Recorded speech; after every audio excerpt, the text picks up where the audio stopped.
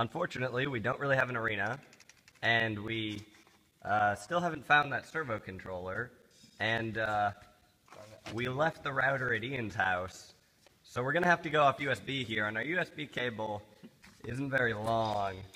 So I think this is actually going to be the worst demonstration of a robot in the entire history of First Tech Challenge or any robotics event ever. But uh, hope you like it. As you can see, Wait, how do I drive it? our power light is flashing as well.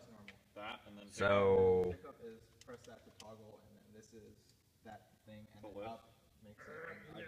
and Wait, linear slide it goes up and down. No, this thing arm goes up and down.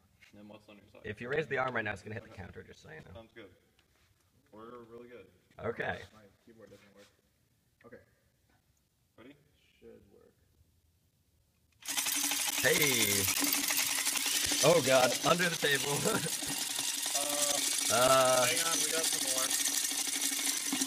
Yeah, good enough. That Okay. So now we toggle it. Wait, Whoa. we don't have a servo controller, but this servo shuts.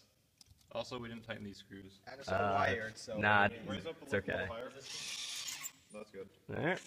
Whoa, geez, that was closer than it should have been. And then we, uh, how about the balls? And lose them under the table. And we can reach the highest goal, barely, but um, the linear slide's not all the way up, but we can do it. Okay, so that's a robot, folks. Uh, hope you like it. This has been a lot of fun. Oh, geez, don't do that.